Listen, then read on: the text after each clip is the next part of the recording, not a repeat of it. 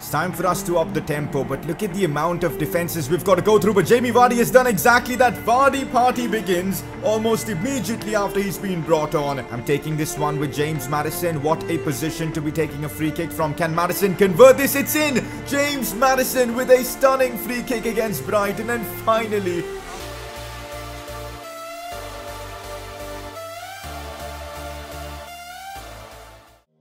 So hey guys, how's it going? It is S2G and welcome back to another episode of the Leicester City Career Mode series. Today's episode is massive because we've got a huge transfer decision to make. And not just that, we're going to be once again getting through four games in this episode, including this massive Premier League game at the Etihad Stadium against Manchester City. Our form's been a little dodgy in the last few episodes, and because of that, we're now ninth in the Premier League. I'm hoping in this episode we can push further up the league table. A lot's going to go down in today's episode, and if you guys are enjoying this series and want to see more episodes, make sure to show your support by dropping a like in the video. Let's smash out 2,000 likes that would be awesome. If you are new around here, subscribe for more FIFA 20 career mode content. Straight away hopping into a press conference and as always if you guys want to get involved make sure to drop in your questions down in the comment section below. First question of the day, Vardy will need replacing within a season or two. Who do you think will be the best replacement? So, I'm sure in the last episode you would have seen Jamie Vardy's stats go down. He's already dropped by one overall. And although he's scoring a lot of goals for us this season, next season I don't think he'll be good enough to be our first choice striker. And that means we need to look for a replacement. And honestly, I think I found the man I want to bring in. It's Timo Werner from RB Leipzig. You guys already know how good he is in FIFA. He's super quick as well, and I think he's very similar to Jamie Vardy in a lot of aspects. And the best part, his contract is expiring, so we can actually sign him for pretty much nothing in the January transfer window. And next season, we'll have Timo Werner in our team. So I think this is something we've got to do in this series. Imagine having Werner next season in the Premier League. That would be huge for the series. So, I'm gonna leave this up to you guys. Should we sign Werner on a pre-contract? Let me know by clicking the I button and voting. This is going to be your decision. If you guys want this transfer to happen for next season, let me know. But honestly, I feel like this is something we've got to make because I think next season he's going to have a huge impact for us if we pull this off. Next question, how do you feel about your current position in the league right now? I've got to be honest guys, I'm not too happy with it. I think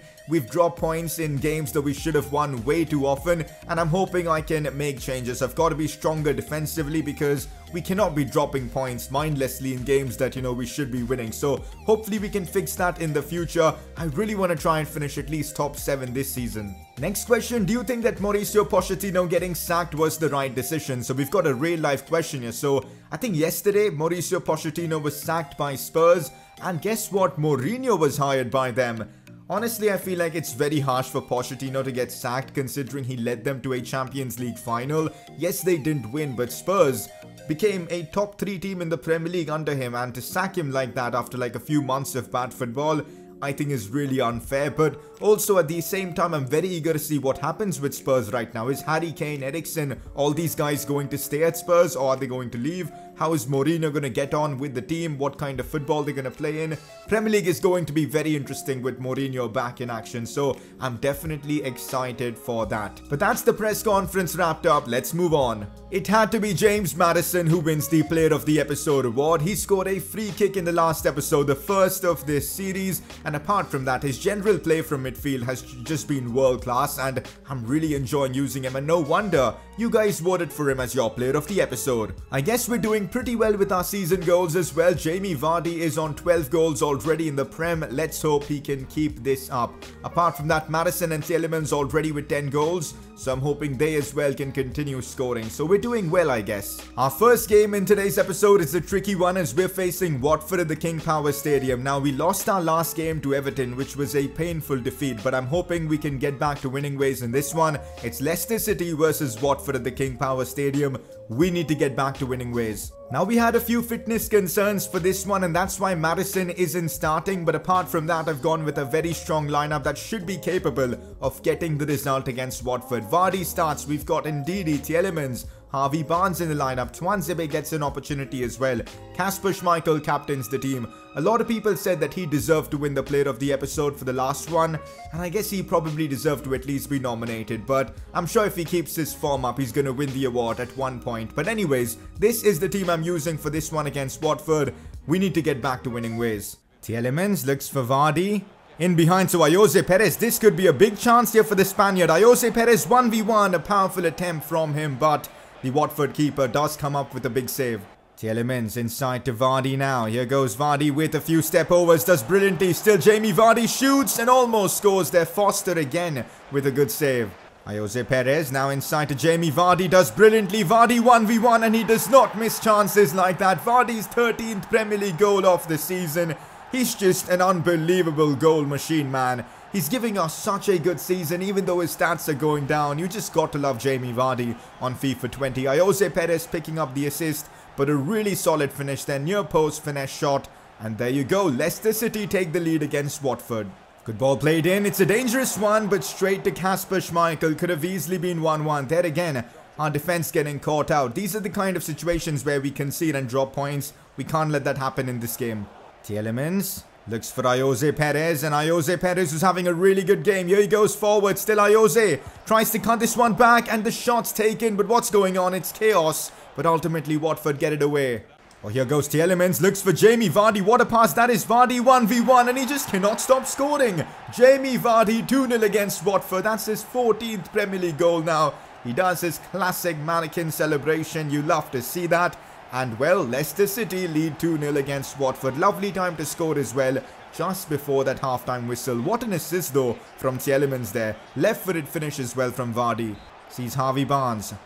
Back inside to Ben Chilwell, who's in a very attacking position. Lays it off to Tielemans, who goes for goal. What a finish from the Belgian, who's also been scoring at a very consistent rate for us. Leicester City make it 3-0 against Watford. This is the kind of performances I want to see from my team. Youri Tielemans with a fabulous goal as Leicester make it 3-0. I genuinely can't see, of course, Watford coming back into this game now because 3-0 it's really tough. Oh, here goes Dennis Praet. Another chance for us to make it 4-0 potentially now. Here goes Dennis and he slides this one home. That's going to be huge for his confidence because we know he's been in and out of the team for the most part this season. But he gets himself a goal in the Premier League as Leicester make it 4-0. Is this going to be our biggest win of the season so far? It does look like it. I think Youri Tielemans picked up the assist for this goal as well. He's having a brilliant season, but we make it 4-0 against Watford. Ayoze Perez looks to slide this one for Jamie Vardy, who is on a hat-trick. He brings it inside. Here goes Vardy. Jamie Vardy is broken through. Jamie Vardy on a hat-trick. No, that's off the crossbar. That is so unlucky. Imagine if that would have gone in a hat-trick for Jamie Vardy, his first in the series, but ah, the crossbar denies him. And that is full time. What a result for us in this series to win 4-0 against Watford at home in the Prem. A solid result for our confidence and yeah, we've got to keep pushing forward. We cannot stop. So at the moment, Jamie Vardy is leading the race for the Premier League Golden Boot. He scored 14 times so far in 15 games, two more than Sadio Mane. He might just be able to win the Golden Boot award. How crazy would that be? Also for now, we're 5th in the Premier League. Of course, it's because we've played a few games more than the other teams, but it's still a nice moment to enjoy. We've got to keep winning though. We've got Aston Villa next in the Premier League, and we actually do have after that Norwich. So I think these two games are definitely winnable, and I would love to get 6 points out of these two. Dennis Praet is in good form. Will we see more of him? Unfortunately, not in this upcoming game. Maddison is gonna resume his place back in the team. We're already in December now. It's basically been, what, 4 or 5 months of scouting and Timu is yet to bring us even one quality English player, which is extremely frustrating. What do you guys think we should do? Should we hire another scout? Or maybe just send Timu to another country to next scout because English talents just aren't coming by and it's getting a bit frustrating to wait to get a proper good youngster in our academy. I've made a few changes to our team for this one against Aston Villa. Chukwueze is back in the lineup, Demarai Gray as well. Maddison is in the team, giving Benkovic an opportunity as well at the back. This is our team. We need to continue winning in the Premier League, so let's go out there and beat Aston Villa. The last time we took a free kick, James Maddison actually scored that. So let's try it again and see if this time he can convert. Go on, Maddison. I've timed it well, but this one was just wide. Vardy looks to get in behind, does so brilliantly. Oh, Vardy again with the touch, but Aston Villa somehow still survive. But it's been a tough game, man. Villa defending well, and they're actually creating a few chances here and there, so we've got to be careful. We can't be dropping points in this one. Jamie Vardy sees Tielemans, back into Vardy. Vardy takes a good touch. Still Jamie Vardy. It's unbelievable from Vardy, but the finish... Everything was perfect apart from the finish. I honestly still can't believe he missed that. As Maddison picks up a yellow for a prior foul, I guess. But how did Jamie Vardy convert that, though? Ndidi, Looks for Vardy. Vardy cleverly done to find Maddison. Maddison could be scoring here. Maddison does not miss chances like that with his weaker left foot as well. James Maddison, who's been on a fantastic run of form, scores yet again for us in the Premier League as we make it 1-0 against Aston Villa. This time Jamie Vardy turning provider, linking up beautifully there with his English teammate. Maddison then pushes forward with pace and then slots it home with his left foot. 1-0 Leicester City. Oh no, this Trezeguet guy could be through on goal. Ricardo Pereira is chasing him. That's a good ball played back, but Jonny Evans with a crucial interception there. Chukwueze releases to Ricardo Pereira now Youri Tielemans. Tielemans back into Chukwueze. Chukwueze with a few step over. Still Chukwueze. Still Chukwueze shoots, but it's a big save from Heaton. Now Demarai Gray. Now it's Ben Chilwell who's looking to push forward. Here goes Chilwell with pace. Still Ben Chilwell. Squares this one inside, but ultimately Villa do get it away. I thought that was going to be Vardy's another goal for him. I think 15th. A ball played inside. It's a chance for Aston Villa to equalise and we somehow survived that.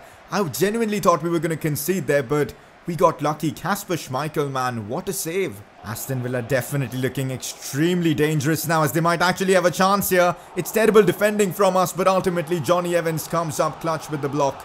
It's a corner in basically the 89th minute. I don't want to concede. I just don't want to concede. It's going to happen. No way, man.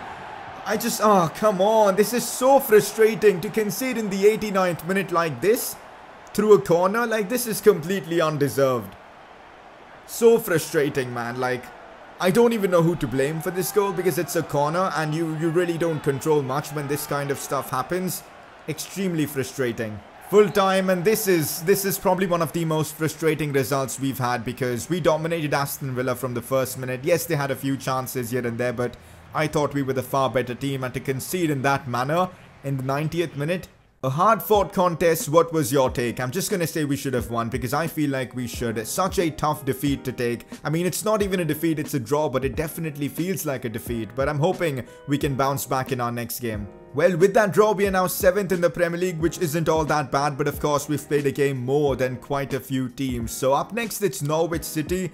And they aren't doing that well in the Premier League. They are 14th, but I do know they've got some decent players here and there. So this is again going to be a challenge. We can't afford to drop points against them like we did against Aston Villa. Leicester versus Norwich. We're playing at home in front of our own fans. We need three points from this game. We've got Jamie Vardy up top. We've got Tielemans, Maddison all starting. So Soyuncu and Tuanzebe playing together. And by the way, Soyuncu has now hit an 80 overall, which is perfect. This is our team.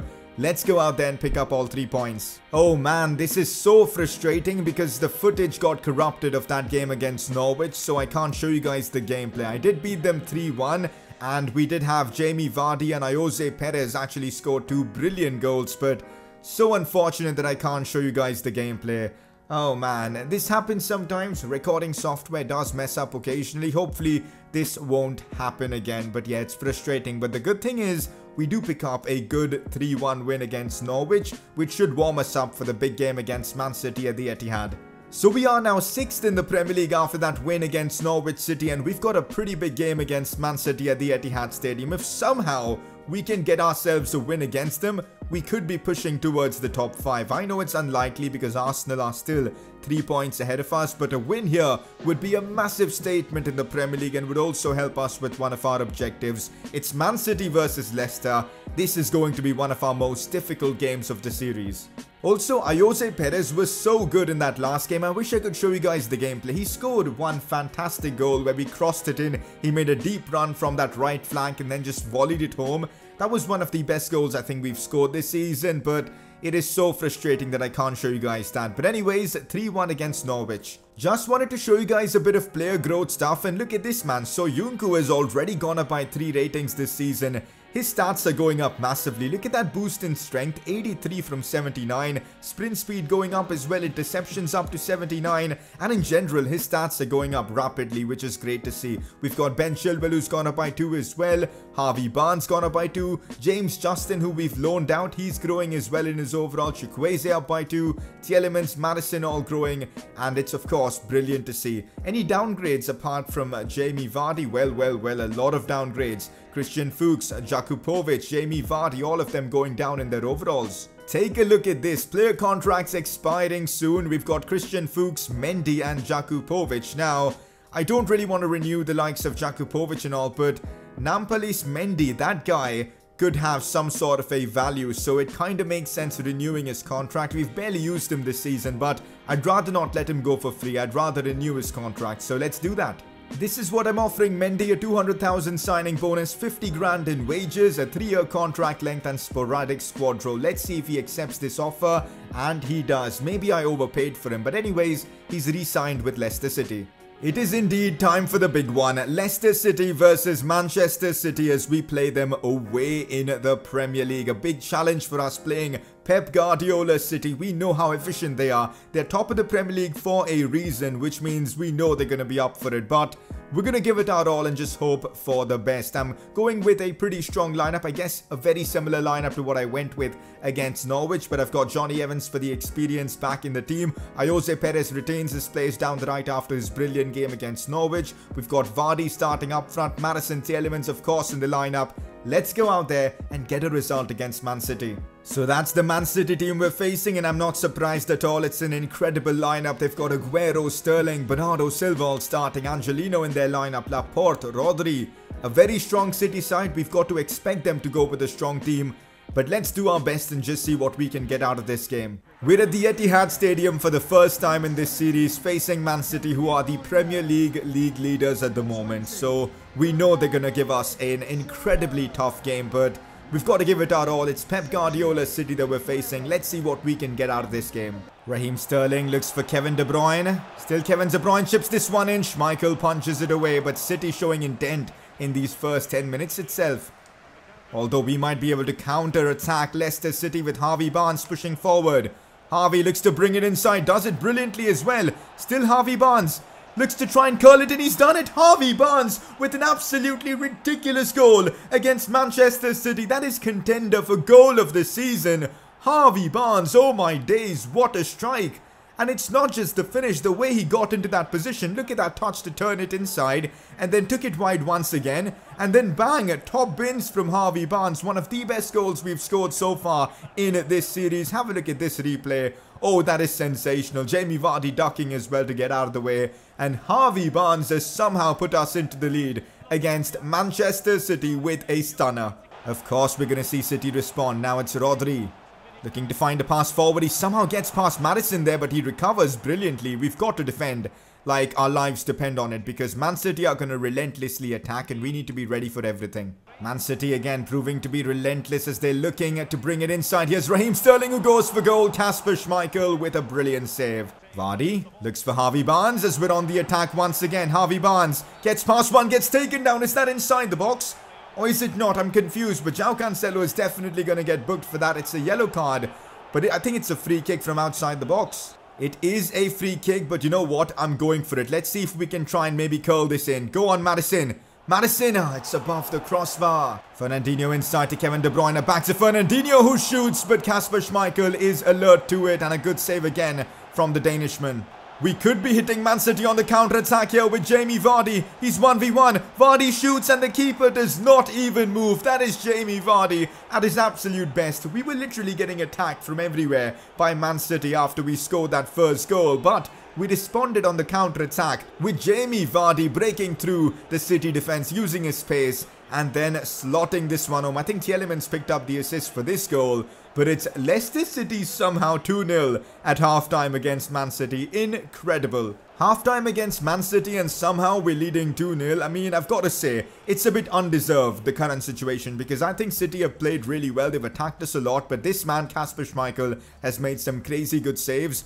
And we've literally hit them on the counter attack and we've scored twice. Let's hope we can hold on to this lead in the second half. Here goes Maddison once again. Leicester City on the counter, hitting at Man City. Go on, Maddison. He's got the pace. Releases it for Vardy. Oh, he couldn't uh, get it under control, but I think Vardy was offside anyways. Maybe I should have just gone for the shot. Maddison looks for Vardy. Now Ayoze Perez, who's made a run inside, releases it to Tielemans. Here goes Tielemans now.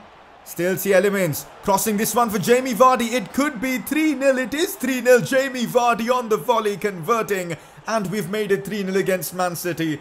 I have absolutely no idea how we're in this situation because Man City have kept all the possession but every time we counter we've created danger and Tielemans look at look at this for an assist how good is this for a pass and credit to Vardy as well with his weaker left foot to convert this could prove to be our best result of the series so far if we can hold on. We're leading 3-0 so it's looking likely. Unreal scenes as Leicester City lead 3-0 against the Premier League league leaders at the moment.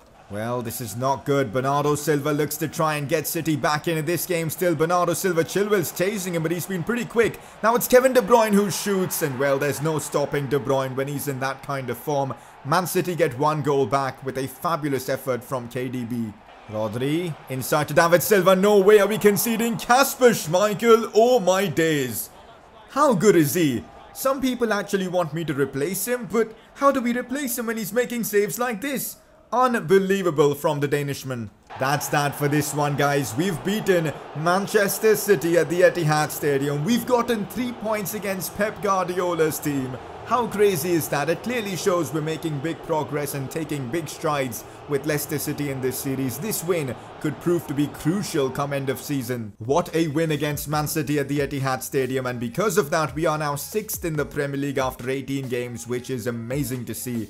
Wolves are giving us tough competition though they're in 7th place. Arsenal are of course in 5th place with 36 points but we're doing well man. We're doing really well now. Jamie Vardy competing really hard with Sadio Mane for the Golden Boot Award. Both at the moment have got 17 goals in 18 games. Next episode is about to be insane. First of all, we've got Liverpool at home at the King Power Stadium and it's the Christmas period so games coming in thick and fast. West Ham away and then we've got Newcastle as well. And apart from that, the transfer window opens in the next episode, so you guys could be seeing some business be conducted, especially Timo Werner. It depends on what you guys want, because I want to try and close that transfer as soon as possible. So let me know in the comment section, and as well as by voting, do you guys want to see Timo Werner next season at Leicester City? It's up to you guys to decide. It is another fantastic episode for our season goals as Jamie Vardy is now on 17 goals in the Premier League already. I guess we made it too easy for us because he's going to crush 25 goals without any problem. We also beat another top 6 club in Man City. We're now on 2 for the Giant Killers objective, which is great. Tielemans and Maddison are now on 12 goals, so this was a pretty good episode for our season objectives. Before we wrap up today's one, it is time for you guys to make your vote count for the Player of the Episode award. A couple of nominees once again, and how could I not include Jamie Vardy in the nominations? He scored 5 goals in the Prem in today's episode over 4 games, and He's showing no signs of stopping, and he scored a brace against Man City as well, and that's why he's been nominated. Your second nominee is going to be Youri Tielemans. Another brilliant episode from him in our midfield. Dominates game like no one else.